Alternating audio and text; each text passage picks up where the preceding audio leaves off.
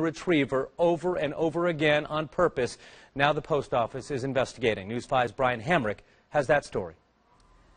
Well, postal investigators want to know exactly what happened on this street near Devou Park that left a family pet dead and an entire neighborhood stunned. When we arrived home, I walked in and I saw my dog at the foot of the stairs, and she, you know, she was already dead, and it was really sad. Lisa Hamm is still in shock, not only because her three year old golden retriever, Nala, was killed, She is a family member, part of the family. but how it happened. You don't think there's any way this could have been an accident? No, sir. No, sir. It wasn't no accident. Nelson Hamm is Lisa's father.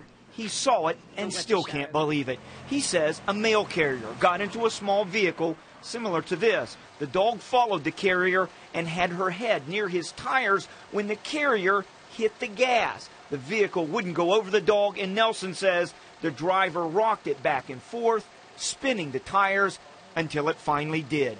And when he ran up on her, he knew he was on something, and her legs was going like this, and he was, you know, kept on going, just gunning it, gunning it, gunning it. Nala made it to her feet and got inside the house, but it was too late. And I started crying. And the dog was laying there, and I picked her up as much as I could and just held her. But she was already dead. Nelson says the driver delivered a package at the end of the cul-de-sac and came back his way, but wouldn't stop. Postal investigators will only confirm that they are investigating, but they'll have to determine if it's definitely their driver and if there are other unknowns here. Well, we need an explanation of some kind, but we certainly can't replace our, our pet. You know, she's gone. And a postal spokesman tells us that that driver will remain on the job, at least for now. Brian Hamrick, News 5.